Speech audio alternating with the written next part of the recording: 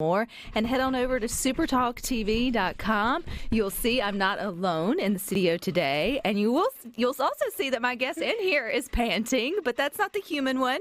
That's the four-legged one. And it's hot out there and you guys had to run over to the correct building. We did. So no problem with that. We'll definitely let him catch his breath. But joining us is miss katrina miller. She's executive director and founder of mississippi therapy animals. And man y'all are up to some good. So welcome. Thank you Thank you for I'm gonna get us. you to pull that up just yes. a little bit closer. There you go. There Perfect. we go. Okay, so who is joining us? Who's our four-legged friend? Okay, so this is Chicken Tender.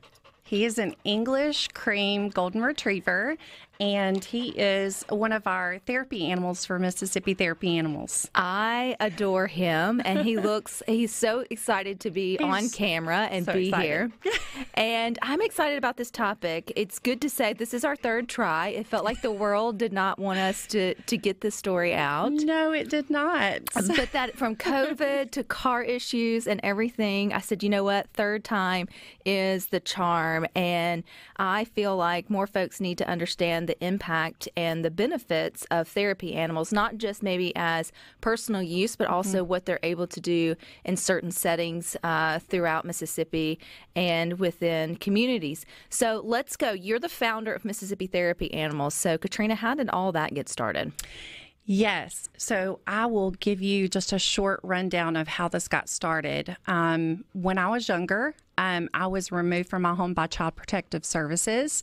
And so I had a lot of abuse um, that was uh, in that situation. And through that time, I was able to kind of lean on my animals. Um, I was pretty neglected and kind of not able to really kind of go out with a lot of different human or friends. And so, uh, lo and behold, he just didn't know that my animals were really helping save me. So, the animals that I did have access to um, helped save me and helped me make the choice, along with my personal choice, of saving me from suicide. So, or something worse, um, or hurting my abuser, one of the two. Um, so, with that being said, fast forwarding it, I was able. Um, Child Protection Services removed me from my home when I was 17 and uh, placed me elsewhere. And then I was adopted out my senior year um, to a family. And then I actually went on to college and I was the first to graduate um, high school in my side of the family. And I just realized later on through my life how much the animals helped me. Um, and so it was really important for me to continue that and to bring it here to the state um, to help either save somebody or just impact their life. Which I think anybody yeah. who has a fur baby absolutely knows the impact mm-hmm. they can just simply have by being your pet. You can't imagine, and two, I mean, feelings of loneliness or just comfort and love. I just saw earlier today a meme that said a dog will love you more than you love yourself, and or the, oh, it's the yeah. only, I guess, person that will love you more than you uh, than you love yourself, and anybody, yes. and that goes along for other animals. So you mentioned animals growing up. Was it just maybe your typical uh, dog, or were you on a like farm situation where you had access to, you know, a, a, mm-hmm. a variety of animals? So I actually had access to a white dove and I, I, was in the city, so not always in a farm setting. Um, I did move around a lot. Um, you know, when I was younger, but I had a dove, I had a cocker spaniel, and a ferret um, which is just amazing because that dove, it was just a bird, right? Everybody thinks it's just a bird, but that bird and all of them, but I can just remember that bird just really represented like freedom for me. And so I was like, oh, I can't wait to have freedom one day. So, um, and then the bird comes back by choice to see you. It, yeah, which is so interesting too that that you mentioned that, uh, Katrina, because we have a little we have a birdhouse uh, outside that we have actually on our back porch, but it's sitting down. It's not occupied by birds; it's occupied by two frogs, and they yeah. have like taken it on as their home. And I know it sounds the strangest thing, but if you follow me on any social, you'll know that my youngest has fallen yeah. to be, be besties with this frog, and we've created this entire. We just assume that the frog loves us as much as we love the mm-hmm. frog and it's become this routine of of going out every night and checking to see if Mr. Frog is there and you know or whatever it may be and you know when you when you allow kids just mm-hmm. to have their natural imagination or natural connection to nature. Right. It really is mind-boggling, or you know, uh, that not mind-boggling, but it's just really inspiring to see mm-hmm. how they mm-hmm. can connect with things that adults tend to just walk past by or not yes. think not have that like attachment to. They can get attached to i guess is what i'm trying to say. Absolutely. Um, and that's really therapeutic and bonding for you and your son. Um, we have a frog as well in our program.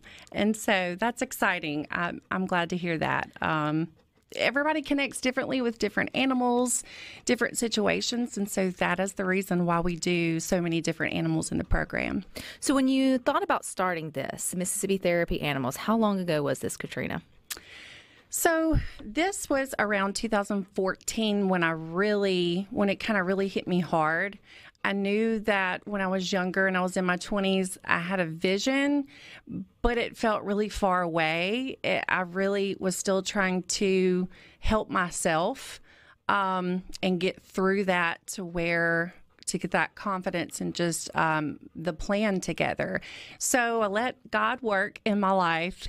And uh, finally, 2014 is when I was able to finally start everything and really put plans into place. And then I was able to file legally the nonprofit in 2019 and I quit my job at a uh, mental health and child protective services position um, and moved towards doing this full time. Was it something that you kind of sowed the seeds with those around you saying, hey, what do you think about this? Or what do you think about that? And just got the response of, like, oh my gosh, somebody should be doing that. Yes, that sounds amazing. Or was it more people had to connect with, okay, I need to see it in action before I, I can see it has value? I just went for it. I didn't talk to anybody. I didn't say anything. Uh, m- my husband knows me best, and the people who know me know when I get something on my mind, it's gonna it's gonna happen. I'm gonna find a way, one way or another, and it's gonna happen. And so I kind of told my husband a little bit about it, but I just went for it.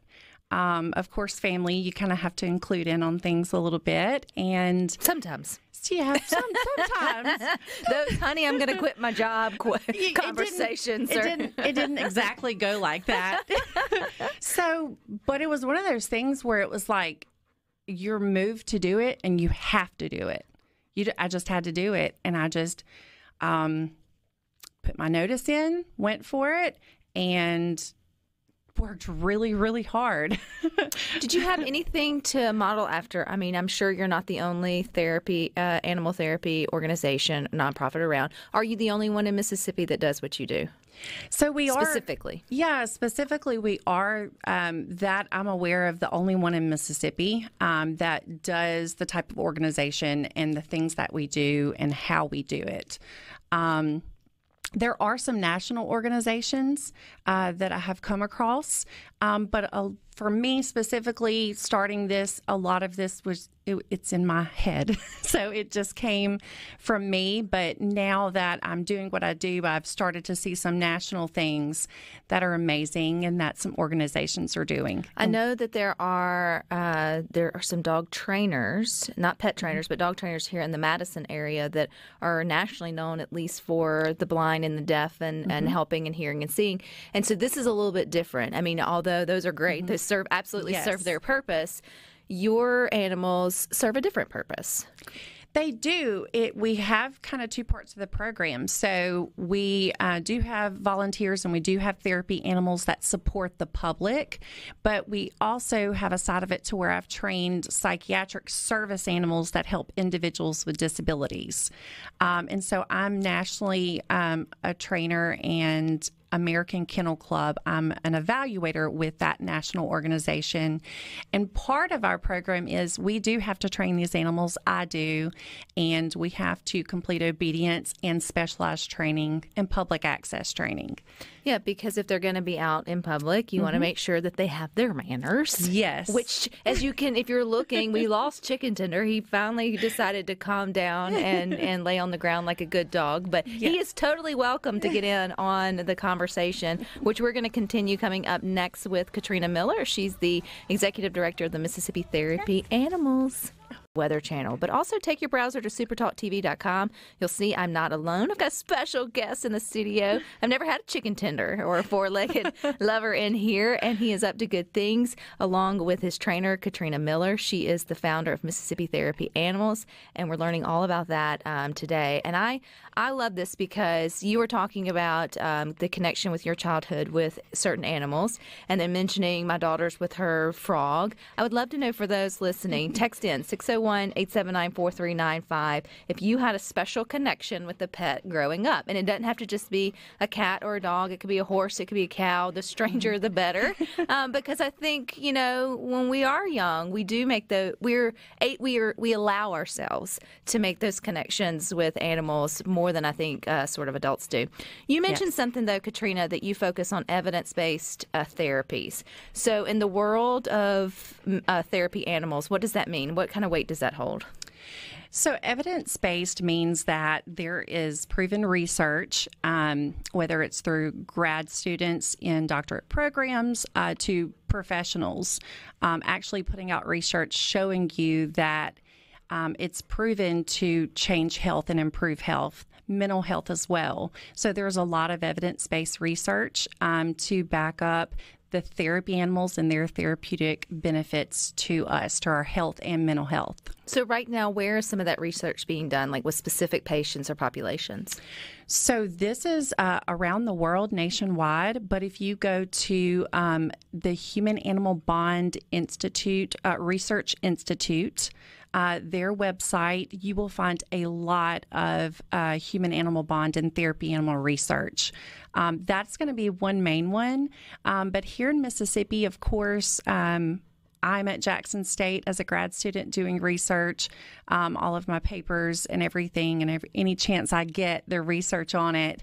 Um, but there are also some links you can utilize when you go through the Human Animal Bond website that will direct you to a lot of research um, to show you that. So, you know, the commercial, I think I can see it in my head. It's where the little girl has her arm out and she thinks she's going to get more medicine. I think it's a cancer yes. patient. And then they're like, we're going to try something different today and sort of bring in the, and bring in the animal. Is it just the ability to love something or the good? What is that sort of connection that just does us so good, that just does so well for us? So it's probably hard to put into words, but I mean, or- it is. It is. But but here's what I've come up with. They these animals can reach people on a level that we as humans cannot. Sometimes that there is an unexplained part of it. Um, but what I'm seeing when I'm interacting um, with people is it's unspoken. You don't have to say anything, and it naturally, for the most part, just happens. Um, I think the one thing that I remember about my animals, um, I'm not always worthy of being loved, and I have bad days. I'm human, um, but they they still give me that affection. They don't give up on me.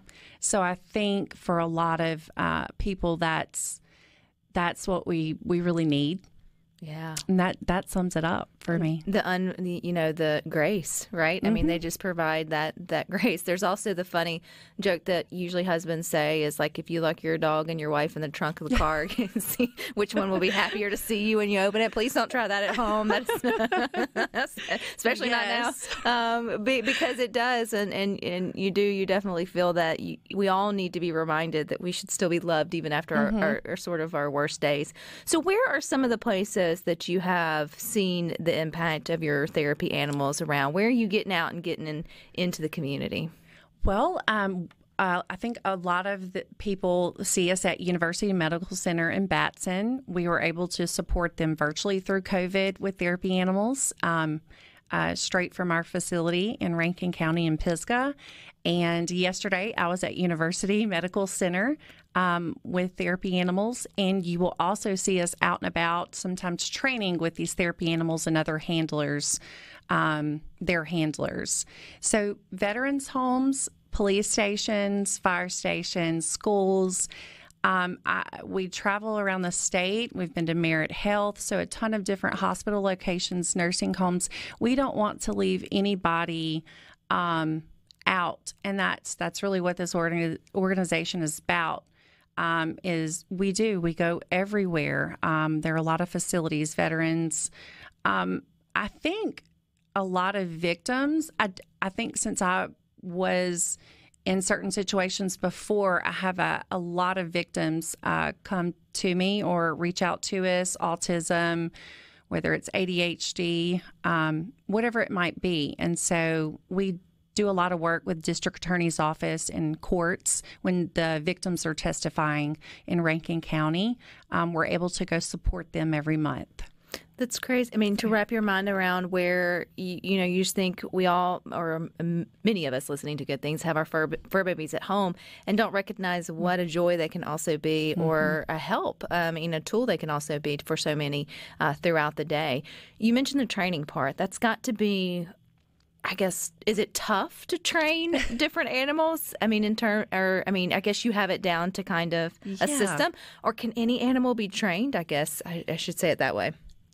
This is this is the mother speaking in me. This the animals and the humans. Not only do we have to train animals, but I have to train the humans as well, handlers. Um, you know, and there's an art to that. It's like a child growing up. We don't know what to expect, and we've got to just roll with it and do the absolutely best we can and and put in our evidence-based techniques to try to make things happen, um, to guide them to you know what they want to do. They don't always uh, they're not always able to do therapy animal work so they're not always cut out for that. And so we want to find what they do thrive at. So I think that's the great thing about our organization is if that dog or that handler, the volunteer, uh, may not pass for therapy animal work, um, the obedience and the public access training then we want to make sure that they have a place and we find them something to do and we find what they thrive at. So it does take a while. It does take a while, but then when you when you get done with it or you have an animal that's trained, that's when they mm-hmm. can go out and do their best work. You guys are sending in your um, childhood besties that were of the animal world. Lisa and Clara says her siblings and her had a pet owl named Hoot, of course, Aww. love it. And his oldest sister found while running, kept him almost two years, fed him worms, and he lived. He loved sliced tomatoes, oh, which I think is really cute. And someone said, "I'm not a youngster, but animals are my best friend, best friends." And they sent a, a picture of their Zeus, which Aww. he said is his tennis partner. so you know, I think it's it it makes sense. And so why not harness this kind of love and affection that we we get with mm-hmm. our own pets, and then give that to, to people who may not have access or you know yes. not have the ability to have uh, to have that because I mean, you're right. It's it's so much unspoken. You want to be able to articulate it, but some yes. of the, the best things in life are are the unspoken mm-hmm. uh, the uns- unspoken magic. Now, I understand the, the animal, I mean, the dogs and the cats, but I hear you even have a trained monkey, ducks, llamas, all of all of the above. Yes. So we we wanted to I wanted to incorporate a lot of different animals. Uh, so some of the animals that we have um, and that we've we've had are llamas, alpacas. Um, Chicken Noodle was an alpaca. Um, and I love these names. He's precious. Um, but Chicken Noodle. Um, so some our Cusco, our llama, of course, was a little older and passed away. So we also have ducks. We have a ferret. We have um, Amazon parrot, cockatoo. Um, so whether we've got exotic, we've got reptiles, we have an 80 pound African spurred tortoise. Um, we also have a tegu lizard. Um, and if you don't know what a tegu lizard is, look it up. Um, some of them are amazing. And uh, we also have a snake as part of our program, bearded dragon. So probably if you're thinking of it, we probably have it. It's the snake fear therapy because right. The snake is awesome. So, you know, I I wasn't big on or never really had a snake growing up, but a lot of people connect to the reptiles and the snakes. And I've really grown to love reptiles on a whole new level. Well, we've got someone in the building who I won't name, his name will, and he is mortified of snakes, probably just the word of it. If he hears me talking about it, he's probably hiding under his desk. She didn't bring a snake, Will. No, no. Don't worry, we wouldn't bring that into your nursing home if that's where you where you needed it. But we need you to stick with us. We got more for you. Out more, you can head on over to supertalktv.com. You'll see I have a hairier guest than Rhino, which we're coming up on a year ago that you had your last uh, haircut. I just saw where we are only a month away from our 10th annual radiothon there for Palmer Home for Children. And I think when I think about the mission of Palmer Home, I think, man, they need the Mississippi therapy animals there with all of the kids that they rescue and uh, restore. If you're just joining us, I do have Miss Katrina Miller. She is the founder of Mississippi Therapy Animals. And man, you guys really are up to some good. and I feel like I'm like, why? Why we just now hearing about this i mean it needs to be you know and i know there's there's always such a greater need than there is mm-hmm. availability and the time and energy that you go into um, training your you mentioned your 20 animals on site so let's talk about the site so you have all 20 therapy animals under well maybe not under one roof but yes. what does that look i mean what does your backyard look like okay so we have about 30 acres out in Pisgah. And of course, we have a farm animal area, we have an exotic animal area, and we also have a building for our domestic, for our therapy dogs. And of course, our home. I reside there because I have to be there with all the animals, um, you know, to take care of them. Um, but yes, so from a Coatimundi, a South American coati exotic animal, all the way to a horse we have on site, and baby doll lambs, and chicken tender, the golden retriever. Which I feel like is, again, I mean, if you, he, you, he just makes you happy, right? Yes. It just makes you, it makes you want to smile. And I think that's the biggest sort of part of this. Um, where do you get your, where do you connect with your animals? I mean, I get the golden retriever or even the horse if you've got some cats or something like that, but you you mentioned the 90 pound tortoise? Or yes. Where, how do you come across, like, does someone call and say, Katrina, I've got an animal? No, so I had to actually wait uh, about two years to get this African spurred tortoise, and I just have these visions in my head. And once you research, um, and really research on how that's going to be therapeutic for somebody, um, my brain just takes me to those places. So, this huge 80 pound African spurred tortoise is just amazing. His name is Walter. And some of the victims that have come out with me and sat in that grass at our at our place in Pisgah, um, it's so amazing because Walter will just sit there and you get to feed him. And as you're sitting there, that child gets, just gets to be lost in that moment. He's really still, he's calm. And uh, the touch, sometimes for children all the way to adults, sometimes it's about the touch as well, the feeling of that animal. Um, and that interaction, like a reptile, a tegu lizard. Um, I'm a very hands on person. Um, my child needs sensory things um, incorporated. And so, you know, that gives you an example of how that can be therapeutic and how I choose my animals. Well, if we all, anyone who has an animal, you know that it takes a lot to keep them healthy and keep them housed and keep them all the things. And so, how does that, I mean, you guys are a nonprofit. So, how do you, yes. how do you stay afloat? So we need the community's help. Uh, we don't receive grants. Uh, we still are a building nonprofit, and uh, my sweet husband and Miller's Landscape and myself, through working um, extra outside of the nonprofit, is what keeps it afloat. Um, and now, as we get the word out, we can get the community's help to actually keep these animals year round and actually help us get to the places we need to get. So, community out there, anyone, we need you. Go to our website at mstherapyanimals.com and fill out that contact form so we can get you involved somehow, some way to help us to help others. Because it takes volunteers to be able not only you train yeah. the animals, but mm-hmm. there's also that opportunity for the right passionate person who, you know, feels feels led to this that they can then connect with your animals and mm-hmm. take them into their community, right? I mean, it's or yes. or partner in some some mm-hmm. way. It's not just come and care for them, like literally yes. expand the reach that it can get. It is. Um, so no matter if you even don't even want to work with animals, there's still a place for you within our nonprofit. Um, so please reach out, even if you don't want to handle an animal or if you can't even be on site, you can volunteer virtually.